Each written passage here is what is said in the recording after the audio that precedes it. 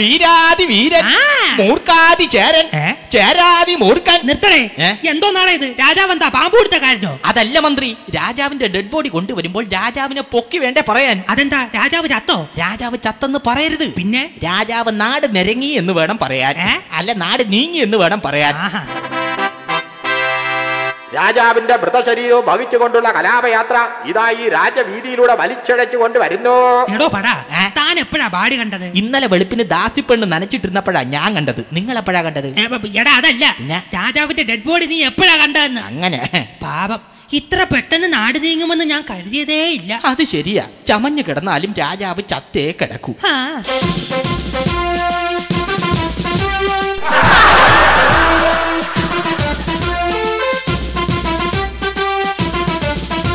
എടാ നിർത്തടാ തറയിൽ. ആരടാ നമ്മ ഇതിന്റെ മണ്ടയിലെടുത്ത് വെച്ചത്? നിർത്തടാ എടേ ഇറക്കടാ എന്നെ ഇവിടെ. ആരടാ ഈ പുതിയ രണ്ട് ഭടന്മാർ? അയ്യോ അത് നമ്മുടെ പുതിയ അപ്രന്റീസ് ഭടന്മാരാണ് രാജൻ അല്ല അങ്ങ് മരിച്ചെന്ന് പറഞ്ഞിട്ട്. ഹാ! യാ! അയ്യോ, എന്നെ കൂടെ പേടിപ്പിക്കാടാ ആരടാ നമ്മെ കുറിച്ച് ഇങ്ങനെയുള്ള അസംബന്ധങ്ങൾ പറഞ്ഞുണ്ടാക്കിയത്? രാജൻ ആക്ച്വലി ഇന്നലെ എന്താണ് സംഭവിച്ചത്? ഇന്നലെ സംഭവിച്ചത് ഞാൻ മൂത്രമൊഴിക്കാനായി പുറത്തേക്കൊന്ന് ഇറങ്ങിയത് മാത്രമുണ്ട് ഓർമ്മ. രണ്ട് ക്രൂര മൃഗങ്ങൾ നമ്മുടെ മുമ്പിലേക്ക് ചാടി വീടു വല്ല സിംഹവും പുലിയും ആയിരിക്കും ഓടെ അവിടെ നിന്ന് രണ്ടെണ്ണായും ഒരു കുരുവി. അയ്യേ. ഓ, വല്ലാത്ത ക്ഷീണം. ആ അങ്ങനെ ന്യൂൻഫോയ്ക്ക് പോയി കാണും അല്ലേ അതിന്റെ അല്ലടോ നായാട്ടിന് പോയേണ്ടതാ. വല്ലടത്ത് കിടക്കുന്ന നായ പിടിച്ച് അങ്ങനെ ആട്ടാൻ പോകുന്നത്? ഈടോ തലക്ക് പിടിക്കാൻ വല്ലതും ഇരിപ്പുണ്ടോ? മൂത്രമുണ്ട്. മൂത്രമോ? മൂത്രമല്ലേ മൂത്ര നല്ല റമ്മുണ്ടെന്ന്. അങ്ങനെ ആരവിടെ? ഉത്തരവ് രാജൻ. എടോ പാലുണ്ടെങ്കിൽ താൻ പോയി രണ്ട് കവറിങ് വാങ്ങിച്ചോണ്ട് വാ. ശരി രാജൻ. ആ. രാജൻ എന്തോ? അങ്ങേ മോൻ കാണിക്കാൻ ആരോ വന്ന് നിൽക്കുന്നു. അയ്യോ ഇന്ന് ചൊവ്വാഴ്ച കട അവധിയല്ലേ നാളെ രാവിലെ വരാൻ പറ. ഇതാ രാജൻ കവറ്. ഇപ്പൊ തന്നോട് പാലല്ലേടോ വാങ്ങാൻ പറഞ്ഞത്? അങ്ങല്ലേ പറഞ്ഞത്. പാലുണ്ടെങ്കിൽ രണ്ട് കവറിഞ്ഞ് മേടിച്ചോണ്ട് വരാൻ. ശവനെ കൊണ്ട്. യാ! രാജൻ ആരോ മിസ് അടിച്ചു. അയ്യോ തന്നെ. ആരടാ മിസ് അടിച്ച നീ ആണോ എന്റെ പൊന്നു രാജൻ അതല്ല. പിന്നെ? ഈ ഫോണിൽ ആരോ മിസ് കോൾ അടിച്ചെന്ന്. ഓ അങ്ങനെ. എടോ താനൊരു സന്തോഷ വാർത്ത അറിഞ്ഞോ? ഈ വരുന്ന ഫെബ്രുവരിയിൽ നമ്മുടെ ജന്മദിനമാ. ഒരു രാജ്യം ഭരിക്കുന്ന രാജാവ് പിറന്ന മാസത്തിന് പറഞ്ഞത് കേട്ടില്ലേ? ഫെബ്രുവരി എന്ന്. പിന്നെ മന്ത്രി തന്നെ ഒന്ന് പറയടോ. നാട്ടിലല്ലേ അങ്ങയുടെ പിറന്നാൾ? ആ ആട്ടെ അന്ന് അങ്ങക്ക് എത്ര വയസ്സ് തികയും? അന്ന് നമുക്ക് അറുപത് വയസ്സ് തികയും. അപ്പൊ അങ്ങനെ ഷഷ്ടി പൂർത്തിയായല്ലേ? എന്നാ കൊണ്ട് വൈകിട്ട് നോക്കാം. എന്തോന്ന്? അല്ല ഷഷ്ടി പൂർത്തിയായെന്നല്ലേ താൻ പറഞ്ഞത്? എന്റെ പൊന്നു രാജൻ അറുപത് വയസ്സ് തികയുന്നതിന് ഷഷ്ടി പൂർത്തി എന്നാ പറയുന്നത്? അപ്പോൾ അറുപത് വയസ്സിന് മുകളിലോട്ടാണെങ്കിൽ? ഷട്ടി കീറി എന്ന് പറയും. എടോ കൊട്ടാരത്തിന് മുകളിൽ ഉണങ്ങാനിട്ടിരുന്ന ആ കുരുമുളകൊക്കെ പറക്കിയോ പറക്കി തമ്പുരാനോ. പറക്കി തമ്പുരാനോ? കാ പറക്കി തമ്പുരാനെ എന്റെ കാറക്കി തമ്പുരാനെന്നോ? എന്റെ പൊന്നു രാജൻ കുരുമുളക് കാ പറക്കി തമ്പുരാനെ അങ്ങനെ. പിന്നെ രാജൻ ഈ കുരുമുളകെല്ലാം പറക്കി മാർക്കറ്റിൽ ചെന്നപ്പോഴാ അറിഞ്ഞത് മാർക്കറ്റ് ഇടിഞ്ഞെന്ന്. ഷോ മാർക്കറ്റ് ഇടിഞ്ഞിട്ട് ആർക്കെങ്കിലും എന്തെങ്കിലും പറ്റിയോടോ? എന്റെ പൊന്നു രാജൻ. കുരുമുളകിന്റെ മാർക്കറ്റ് വില ഇടിഞ്ഞെന്നാ ഞാൻ പറഞ്ഞത്. അങ്ങനെ? രാജൻ രാജൻ എന്തോ എന്തോ? എന്തിനാടോ താൻ ഇങ്ങനെ കിടന്ന് വലിച്ചു കീറുന്നത്? രാജൻ എനിക്ക് നീതി വേണം. ആരെവിടെ? ഇവരെ ഖജനാവിൽ നിന്നും രണ്ടര കിലോ നീതി വാരിക്കൊടുക്കൂ. വളരെ ഉപകാരം. അതല്ല. രാജൻ ഈ മന്ത്രിയുടെയും ഭാര്യയുടെയും വഴക്കും ബഹളവും കാരണം. എന്റെ കുട്ടികൾക്ക് പഠിക്കാൻ കഴിയുന്നില്ല രാജൻ. അങ്ങ് എന്തെങ്കിലും ഒരു മാർഗം കണ്ടേ പറ്റൂ. എടോ മന്ത്രി ഇയാൾ പറയുന്നത് ശരിയാണോ? അത് പിന്നെ. ശരിയാ. നിശബ്ദമായ ഒരു അന്തരീക്ഷം കിട്ടിയാലേ കൊച്ചു കുട്ടികൾക്ക് പഠിക്കാൻ കഴിയൂ. അതുകൊണ്ട് ഇനി മുതൽ മന്ത്രിയുടെ ഭാഗത്തു നിന്നും അങ്ങനെ ഒന്നും ഉണ്ടാവില്ല ആട്ടെ തന്റെ കുട്ടികൾ എന്താ പഠിക്കുന്നത്? അവർ ചെണ്ടയടിക്കാനാ പഠിക്കുന്നത്. അയ്യോ ഇതൊക്കെ കാണുമ്പോൾ നമ്മുടെ മനസ്സാകെ ആസ്പറ്റോസ് ആണ്. ഇതിൽ നിന്നും അല്പം സന്തോഷം ലഭിക്കാൻ ആ കൊട്ടാരം നർത്തകിമാരോട് വന്നായിട്ട് ഞാനാ പറയൂ. അയ്യോ അപ്പൊ രാജാവ് കാര്യമൊന്നും അറിഞ്ഞില്ലേ? എന്തോ നാടോ? എല്ലാ നർത്തകിമാരും പ്രസവാവധിക്ക് നാട്ടിൽ പോയിരിക്കുകയാണ്. ഇനി മേലാൽ ഇത് ആവർത്തിക്കരുതെന്ന് അവരോട് പറഞ്ഞുതരാം ഇത് തന്നെ അവർ രാജാവിനോട് പറയാൻ പറഞ്ഞത്. ഇനി ഇപ്പോൾ നാം എന്ത് ചെയ്യുമടോ? ആ ഒരു വഴിയുണ്ട് രാജൻ. എന്താണ്? സ്കൂൾ യുവജനോത്സവത്തിൽ നാടോട് നൃത്തത്തിന് ഒന്നാം സമ്മാനം കിട്ടിയ ചിഞ്ചുപോൾ പുറത്ത് കാത്തു നിൽക്കുന്നു. ആണോ?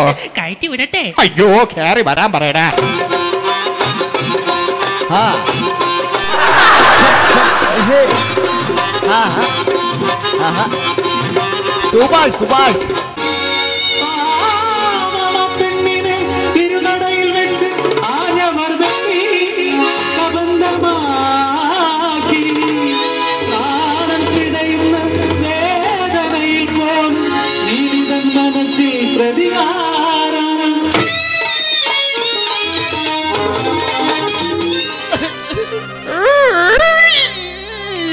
എന്താണ് ഇത്? എന്നെ കരയിപ്പിക്കാനായിട്ടാണ് നീ അവളെ കയറ്റി വിട്ടത്. നിർത്തടി ആരാടി നിന്നെ കൂതറ ഡാൻസ് ഓടിപ്പിച്ചത്? രാധാകൃഷ്ണൻ മാഷ്. രാധാകൃഷ്ണൻ മാഷ. ആരടി അവൻ? ഓമനപ്പുഴ കടപ്പുറത്തിന്റെ ഓമനയാ.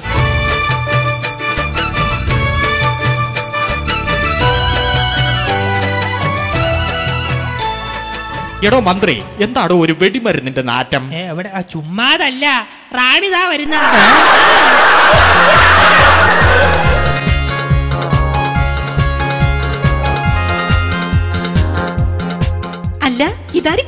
മന്ത്രിയോ? അതെ. ആ മന്ത്രിക്ക് എന്താ ഇവിടെ വേറെ ജോലിയൊന്നും ഇല്ലേ ഏയ് അങ്ങനെ പ്രത്യേകിച്ച് ഒരു ജോലിയും ഇല്ല. എന്നാലും ഇങ്ങ് അടുത്ത് വാ. അയ്യോ രാജാവ് നിക്കണ്. എന്തിനാ എന്തോ? ആ കയ്യിൽ നിന്ന് നീട്ടിക്കേ. ഏ ഓ, നീട്ടി. അയ്യേ പോയി കളഞ്ഞിട്ട് വാ. അങ്ങനെ നീ ഒരു ജോലി ഇല്ലാതെ ഇവിടെ നിൽക്കണ്ട. ആ വരൂ റാണി. ഇത്രയും നേരം നീ എവിടെയായിരുന്നു? എന്റെ ഒരു കൂട്ടുകാരി പ്രസവിച്ചു. നല്ലൊരു ആൺകുട്ടിയാ. ആ കുട്ടിക്ക് നല്ലൊരു പേരിടണം. കുട്ടിയല്ലേ? പേര് നാം ഇടാം നാരായണൻ കുട്ടി എങ്ങനെയുണ്ട്? നമ്മുടെ വിവാഹം കഴിഞ്ഞിട്ട് പത്ത് നാൽപ്പത് വർഷമായില്ലേ? ഇതുവരെ എനിക്കൊരു കുഞ്ഞിക്കാൽ കാണാൻ സാധിച്ചിട്ടുണ്ടോ? അതിന് റാണി എന്തിനാ വിഷമിക്കുന്നത്? ആ അങ്കൻവാടി വിടുമ്പോൾ അതിന്റെ മുമ്പോട്ട് ചെന്ന് നിന്നാ മതി. ഒരുപാട് കുഞ്ഞിക്കാലുകൾ കാണാം. സാറന്മാര് പോകുമ്പോൾ വലിയ പെരുങ്കാലും കാണാം. രാജൻ നമ്മുടെ ഈ സ്വത്തുക്കൾക്കെല്ലാം ഒരു അവകാശം ഇല്ലെങ്കിൽ അങ്ങയുടെ ഈ സിംഹാസനം ആരാ അലങ്കരിക്കുന്നത്? അത് വല്ല ഡെക്കറേഷൻ പണിക്കാരെ ഏൽപ്പിച്ചാ പോരെ. അവർ വേഷം വന്ന് അലങ്കരിച്ചിട്ടിട്ട് പോവും. ഞാൻ പ്രസവിക്കുന്നത് കാണാൻ അങ്ങേക്ക് ആഗ്രഹമില്ലല്ലേ? ആഗ്രഹമുണ്ട് റാണി. പക്ഷെ പ്രസവിക്കുന്നത് കാണാൻ ഡോക്ടർമാർ ആരെയും സമ്മതിക്കില്ല. ഇങ്ങനെ പോയാൽ രാജ്യം നശിക്കും. എങ്കിൽ പിന്നെന്താ? അല്പം ചരിഞ്ഞു പോകാം. എന്ത് പറഞ്ഞാലും തർക്കുത്തരമേ പറയൂ. അതെ നാം തറയ്ക്കുത്തരമേ പറയാറുള്ളൂ. റാണിക്കറിയില്ലേ നമ്മുടെ ഈ വാർദ്ധക്യന്മാരെ യൗവനം വീണ്ടെടുത്താലേ നമുക്കൊരു കുഞ്ഞു ജനിക്കുകയുള്ളൂ. എന്തെങ്കിലും ഒരു ഉപായം ആരായാമെന്ന് വെച്ചാൽ. ആ എറണം കെട്ട. രാജഗുരുവിനെ കാണുന്നുമില്ല അയ്യോ രാജൻ ആ രാജഗുരുവിനെ അങ്ങനെയൊക്കെ പറയാമോ? ഒന്നുമില്ലെങ്കിലും അദ്ദേഹം നമ്മുടെ രാജഗുരു അല്ലേ ഒരു ബഹുമാനമൊക്കെ കൊടുക്കണ്ടേ? എന്നാലും ആ പന്നിക്ക് ഉറന്ന രാജഗുരുവിനെ കണ്ടില്ലല്ലോ. പറഞ്ഞു തീർന്ന് നാക്കെടുത്ത് വായിലിട്ട് കണ്ണ് തള്ളിയില്ല. ദാ വരുന്നു. ആ എറണം കേട്ട രാജഗുരു.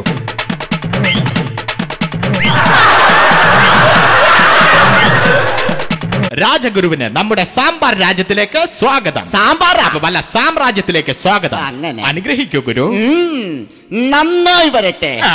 ഞാനും എന്റെ കുടുംബവും. രാജഗുരു എന്താ? വരാൻ ഇത്രയും താമസിച്ചത്? ഓ വയസ്സായില്ലേ. ഇനി വരാനൊക്കെ അല്പ താമസിക്കും. ഗുരുവിന്റെ കയ്യിൽ മൊബൈൽ ഫോൺ ആണോ അതെ. എസ്കോട്ടിന്റെ ആയിരിക്കും. അല്ല ഇതെന്റെ എന്റെ സ്വന്തം. അപ്പോൾ നോക്കിയായിരിക്കും അതെ നോക്കി തന്നെയാ വാങ്ങിച്ചത്. ഓ ഇത്രയും നേരം നടന്നതുകൊണ്ട് വല്ലാത്ത ക്ഷീണം. ആണോ? ഇനി ഉച്ചയ്ക്ക് ഉണ്ടേ മച്ചൊന്ന് ഉറങ്ങണം. ഉണ്ടേ മച്ച് കിടക്കാതെ തലേണെ മച്ച് കിടക്കുന്നതല്ലേ ഗുരു നല്ലത്? എന്താടാ നീ? ആക്കലാടാ നീ? വിളിപ്പിച്ച കാര്യം പറ. ഗുരുവിനറിയാമല്ലോ. എടി നീ പറയാതെ ഞാൻ എങ്ങനെയാ അറിയുന്നത് നീ ഇത് എന്തോന്നട്ടെ സംസാരിക്കുന്നത് നീ ഉള്ള കാര്യം പറ. ഞാൻ പറയട്ടെ. നമ്മുടെ കാലം കഴിഞ്ഞാൽ നമ്മുടെ രാജ്യം ഭരിക്കാൻ ഒരു അവകാശമില്ല. സത്യം. അതിനൊരു പോംവഴി അങ്ങ് തന്നെ പറഞ്ഞു തരണം. പ്രജകളുടെ നോട്ടം എന്നിലാണ്. അതെ പ്രജകൾ അങ്ങേ നോട്ടമിട്ട് വച്ചിരിക്കുക വാക്കല്ലാതെ ചെന്ന് കയറി കൊടുക്കരുത്. നാം ഒന്ന് ഗണിച്ചു നോക്കട്ടെ.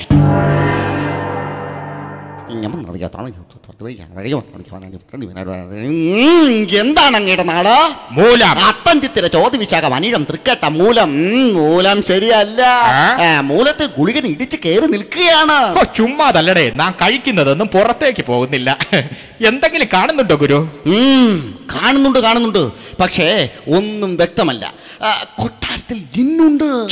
നീ ചുമ്മാ ഇരുന്നാട്. ജിന്നൊന്നുമില്ല. ഒരു ഹണി ബീര ക്വാർട്ടർ കാണും. എടാ ഉവേ ജാതക പ്രകാരം അങ്ങയുടെ സമയം ശുക്രനാണ്. ആണോ? പക്ഷേ സ്വഭാവം വെച്ച് നോക്കുമ്പോ നോക്കുമ്പോൾ? ഫ്ലോട്ടോയാണ്. അങ്ങ് എന്തെങ്കിലും ഒരു മാർഗം പറഞ്ഞു തന്നേ പറ്റൂ. അങ്ങ് ദൂരെയുള്ള കുണ്ടവൻ മലയിൽ ഒരു മഹർഷിയും മുനികുമാനും വസിക്കുന്നുണ്ട്. ആണോ? അവരുടെ ആശ്രമത്തിൽ വാർദ്ധക്യം മാറ്റി യൗവനം വീണ്ടെടുക്കാനുള്ള അത്ഭുത സിദ്ധ പച്ചയിലയുണ്ട്. അതിന്റെ ഒരു ഇല കഴിച്ചു കഴിഞ്ഞാൽ അങ്ങയുടെ പതിനഞ്ച് വയസ്സ് കുറഞ്ഞു കിട്ടും. അത് കൊണ്ടുവന്ന് ഉരിയാടാതെ പത്ത് ദിവസം മുറിക്കുള്ളിൽ പൂട്ടിയിരുന്ന ആ ഇല സേവിച്ചാൽ മാത്രമേ അങ്ങേക്ക് അതിന്റെ ഫലസിദ്ധി ഉണ്ടാവുകയുള്ളൂ. എങ്കിൽ എത്രയും പെട്ടെന്ന് ആ ഇല കൊണ്ടുവരാൻ നമുക്ക് ആളെ വിടാം. ആളെ മാത്രമല്ല എങ്കിൽ ജഗതി ശ്രീമാനെ കൂടെ വിട്. എന്റെ പൊന്നെ ഞാൻ പറയുന്ന ഒന്ന് കേൾക്ക്. അങ്ങനെ എങ്ങനെയൊന്നും ആ ഇല സ്വന്തമാക്കാൻ കഴിയില്ല. ആശ്രമത്തിലെ മുനികുമാരനെ വളച്ചൊടിക്കാൻ പ്രാപ്തിയായ ഒരു പെൺകുട്ടി വിചാരിച്ചാലേ ആ ഇല സ്വന്തമാക്കാൻ കഴിയൂ. എന്നാ ഗുരു നമുക്ക് റാണിയെ വിടാം. കുറച്ചു കാലമായി ഞാനും വിചാരിക്കുന്നു. എന്തോന്ന്? അല്ല അങ്ങ് പറഞ്ഞ കാര്യം. എടോ റാണിയെ ആ ആശ്രമത്തിലേക്ക് അയക്കാമെന്നാ പറഞ്ഞത്. അങ്ങനെ. എന്റെ പ്രഭു അത് നടക്കില്ല. കന്യകയായ ഒരു പെണ്ണ് തന്നെ പോണം. അങ്ങനെയാണെങ്കിൽ അങ്ങയുടെ മോളെ തന്നെ അയക്കാം. ഞാൻ ഫിക്സ് ചെയ്യുന്നു. അതെ. എന്റെ മോൾ പോയി ഇല കൊണ്ടുവന്നാൽ പ്രതിഫലമായി അങ്ങ് എനിക്ക് എന്ത് തരും? ഈ രാജ്യത്തിന്റെ പകുതിയും ഈ കൊട്ടാരവും ഞാൻ അങ്ങയുടെ പേരിൽ എഴുതി തരും. ഇത് വിറ്റാൽ എന്ത് കിട്ടും? അതറിയണമെങ്കിൽ ഇതിന്റെ യഥാർത്ഥ മുതലാളിയോട് തന്നെ ചോദിക്കണം. ഞാൻ ഇവിടെ വാടകയ്ക്കാണ്ടേ. രാജഗുരുവിന്റെ മകൾ പ്രിയംപതയെ കൂട്ടിക്കൊണ്ടുവരാൻ നാം ഇതാ കൽപ്പിക്കുന്നു.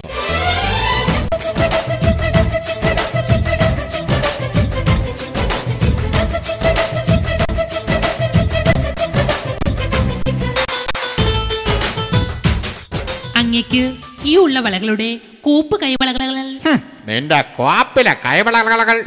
കുമാരി നീ ഇത്രയും സമയം എവിടെയായിരുന്നു? ഞാൻ അപ്പുറത്ത് വീട്ടിലിരുന്ന് വരുന്നു. എന്തിനാ പെണ്ണെ വല്ലവന്റെ വീട്ടിലേക്ക് കൊഞ്ചു വാരാൻ പോകുന്നത്? നിനക്ക് നിന്റെ വീട്ടിലെ കൊഞ്ചു വാരിക്കൂടെ?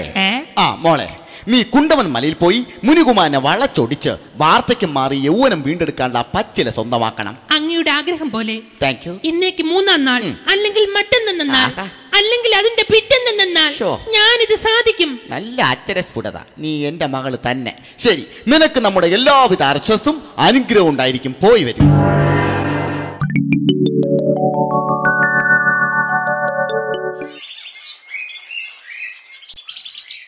ഈ കിളവന്റെ കൂടെ എന്ന് കാട്ടിലേക്ക് ഞാൻ കെട്ടിയെടുത്തോ അന്ന് തുടങ്ങി എന്റെ കഷ്ടകാലം. നാട്ടിലായിരുന്നപ്പോ വല്ല ബാങ്കും കുത്തി തുറന്ന് പത്ത് പൈസയെങ്കിലും കയ്യിലെടുക്കാനുണ്ടായിരുന്നു. ഓ വല്ല ആനക്കൊമ്പും മലിച്ചൂരി വിൽക്കാന്ന് വിചാരിച്ച മരുന്നിന് പോലും പുല്ല ആനയും കാണാനില്ല. കുമാര.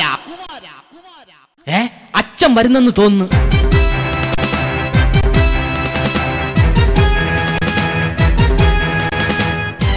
കുമാര ഞാൻ എക്കോ ഇട്ട് വിളിച്ചിട്ട് നീ എന്താ വിളി കേൾക്കാത്തതാ? ഞാൻ വിചാരിച്ചു ഏതാ പട്ടി കിടന്ന് ഓരിയിടായിരിക്കും അത് ശരി. നാം ഇന്ന് തന്ന ഹോംവർക്ക് എല്ലാം ചെയ്തോ? ചെയ്തച്ചാ. എന്നാൽ ഒന്ന് രണ്ട് എന്ന നൂറ് വരെ എണ്ണാണ് ആ പാട്ടി. ശരി. ഒന്ന് രണ്ട് ഒന്ന് രണ്ട് ഒന്ന് രണ്ട് ഒന്ന് രണ്ട് എന്തോ തടയതാ അല്ല അച്ഛനല്ലേ പറഞ്ഞത് ഒന്ന് രണ്ട് നൂറ് വരെ എണ്ണ സിന്ധു നദിയുടെ സംസ്കാരം എന്നാൽ എന്താ? സിന്ധു എന്ന പെൺകുട്ടി നദിയിൽ എന്നും കുളിക്കാൻ ചെന്നപ്പോൾ അവിടെയുള്ള കുറെ കാവറക്കി പയലുകൾ ഒളിച്ചിരുന്ന് അവരുടെ സീ പിടിച്ചു. അവരുടെ സംസ്കാരമാണ് സിന്ധു നദീതട സംസ്കാരം എങ്ങനെ ഉണ്ട്? കൊള്ളാം നന്നായി ഇംഗ്ലീഷിൽ ഹൗ എന്ന വാക്ക് നമ്മൾ ഉപയോഗിക്കുന്നത് എപ്പോൾ? നമ്മൾ അവിച്ച ചക്കക്കുരു ചൂടോടെ എടുത്ത് വായിൽ വയ്ക്കുമ്പോൾ അറിയാതെ പറഞ്ഞു പോകും. ഇങ്ങനെയാണെങ്കിൽ നീ നേരെ ചൊവ്വ പോവില്ല. ഞാൻ നേരെ ചൊവ്വയിലേക്ക് പോകുന്നില്ല. ബുധനിൽ ഇറങ്ങിയിട്ടേ പോകുന്നുള്ളൂ. ശരി നീ ഇവിടെ ഇരുന്ന് നല്ലവണ്ണം ധ്യാനിക്ക. ഞാൻ ആ പാറപ്പുറത്ത് പോയി നല്ലവണ്ണം വന്നതോ? എടാ തൂമ്പ എടുത്ത് കിളച്ചിട്ട് വരാന്ന് പറയാൻ സമ്മതിക്കില്ല. ഇവരൊന്നും നന്നാവത്തില്ല. കോണം പിടിക്കുന്നു ഇതാണോ? രാജാവ് പറഞ്ഞ മുനികുമാരന്റെ ആശ്രമം. ആ നിൽക്കുന്നതായിരിക്കും പിതാമകൻ പറഞ്ഞ മുനികുമാരൻ തപസ് ചെയ്യുകയാണെന്ന് തോന്നുന്നു. ഈ തപസ് ഇളക്കിയിട്ട് തന്നെ ബാക്കി കാര്യം.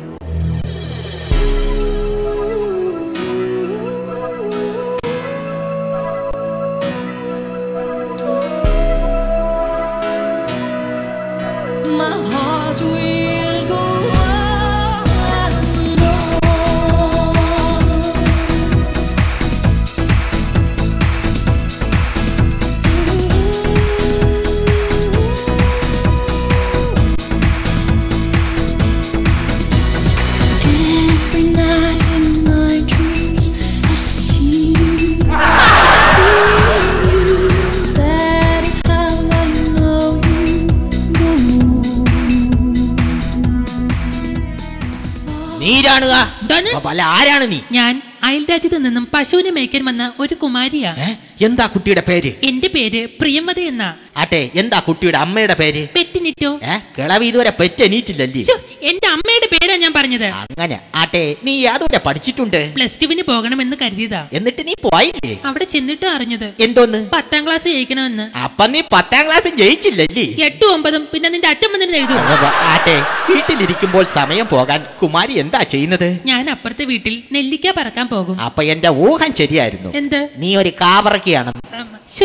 കുമാരന്റെ ശരീരം കണ്ടാലേ അറിയാം. ദിവസവും വ്യായാമം ചെയ്യാറുണ്ടല്ലേ? പിന്നല്ലേ? ദിവസവും രാവിലെ ഞാൻ അഞ്ച് കിലോമീറ്റർ ഓടും. ഞാൻ പത്ത് കിലോമീറ്റർ ഓടും. അത് നിന്നെ കണ്ടാലേ അറിയാം. എന്ത്? നീ കുറെ ഓടിയതാണ്. അതെ. ഞങ്ങളുടെ കൊട്ടാരത്തിൽ വന്നാൽ എന്തെല്ലാം കാഴ്ചകൾ കാണാമെന്ന് അറിയാമോ എന്തൊക്കെ കാണാം? കൊട്ടാരത്തിന് പിറകിലൂടെയാ സിന്ധു ഗംഗ യമുന ഇവയൊക്കെ ഒഴുകുന്നത്. വാ പിന്നെ ഇതാണ് വലിയ കാര്യം. എടി തങ്കമ്മ രമണി ശോഭന ഇവരൊക്കെ എന്റെ ആശ്രമത്തിന്റെ അകത്തൂടെയാണ് നിരങ്ങുന്നത്. പിന്നെയാണ് ഈ സിന്ധു ഗംഗ യമുനയൊക്കെ. എന്നെ കണ്ടപ്പോൾ മുതൽ എന്തിഷ്ടമായിരുന്നു നിനക്കെന്നെ എപ്പോഴെന്തിരിത്? എന്തോന്ന്? കൈവിട്ടു പോയി. ബാക്കി വരാ.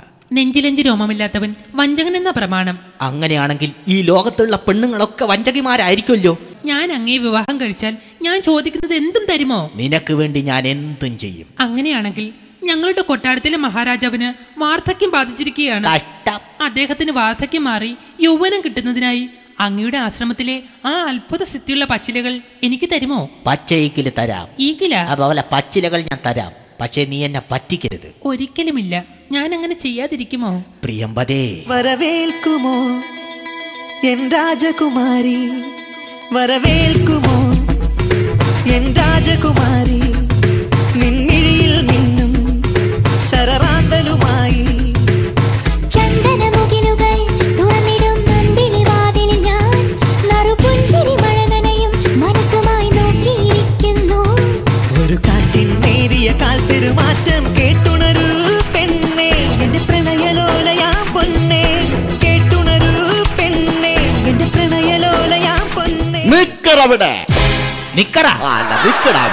നിങ്ങൾ തമ്മിൽ എന്താണ്? ഞങ്ങൾ അടുപ്പിലാണ്. ഓഹോ അപ്പൊ നിന്റെ നിന്റെ നെഞ്ചത്താണല്ലേ കഞ്ഞിവയ്പും കുടിയും? അയ്യോ അതല്ല അതല്ലച്ചാ ഞങ്ങൾ അടുപ്പത്തിലാണെന്ന്. ഒക്കത്തില്ല. ആരുടെ ഒക്കത്ത് എന്തോന്നില്ലെന്ന്. എവന്റെ ഒരു കാര്യം. എടാ എവളെ വിവാഹം കഴിക്കാൻ നിന്നെ ഞാൻ അനുവദിക്കില്ല അച്ഛൻ വന്നാണ്.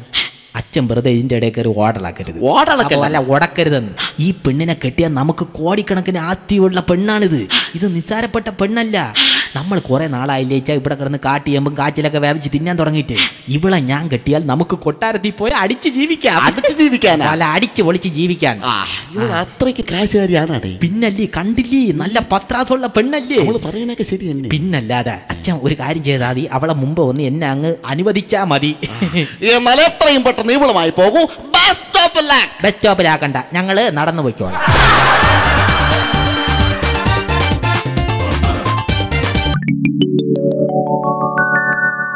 ആ ഗുരു. നമുക്ക് നിത്യവനം വീണ്ടെടുക്കാനുള്ള പച്ചിലകളുമായി അങ്ങയുടെ മകളും കാട്ടിലെ കുമാരനും ഈ എയർപോർട്ടിൽ ലാൻഡ് ചെയ്തിട്ടുണ്ടെന്ന് നാം അറിഞ്ഞു. ചോദിക്കുന്നതുകൊണ്ട് ഒന്നും തോന്നരുത്. നീ ചോദിച്ചെന്ന് തോന്നും അല്ലാതെ തോന്ന്. ആ ശരി. യൗവനം കിട്ടിക്കഴിഞ്ഞാൽ അങ്ങയുടെ ആഗ്രഹങ്ങൾ എന്തൊക്കെയാണ്? രേഷ്മ മറിയ സിന്ധു എന്നിവരെ വച്ച് നാം മൂന്ന് സിനിമ പിടിക്കും. എല്ലാത്തിലും നാം തന്നെയാണ് നായകൻ.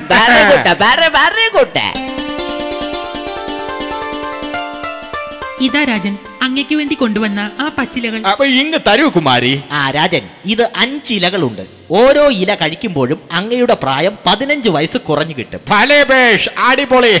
അയ്യോ കൊള്ളാം. പക്ഷെ ഒരു കാര്യമുണ്ട്. പത്ത് ദിവസം പുറം ലോകം പോലും കാണാതെ അങ്ങ് വ്രതം അനുഷ്ഠിച്ചു വേണം ഇത് കഴിക്കാൻ. ആ, എന്ത് വേണമെങ്കിലും നാം ചെയ്യാമടോ. നമ്മുടെ പ്രായം ഒന്ന് കുറഞ്ഞു കിട്ടിയാൽ മതി. എല്ലാം ശുഭമായി അവസാനിക്കുമ്പോൾ ഞങ്ങളുടെ വിവാഹം കൂടി നടത്തി തരണം അതും നാം ഏറ്റു. എന്താ ഗുരുവിന് വല്ല എതിർപ്പുമുണ്ടോ? ആ, ആ, ആ, ഇല്ലല്ല എന്നാൽ ഇതാ നാം പൂജാമുറിയിലേക്ക് പോകുന്നു. ഇനി പത്ത് ദിവസത്തേക്ക് നമ്മെ ആരും ശല്യം ചെയ്യരുത്. അല്ല അത് പിന്നെ എടാ രായ രായ. എന്തോന്നടേ? പോടാ അവിടെ വല്ല അടുത്തൊന്ന് വാങ്ങിച്ചോട്ട് വരുമ്പോ എന്നെ കൊന്നാലും ചെറിയ ഞാൻ ഇത് മാത്രം ആർക്കും തരില്ല.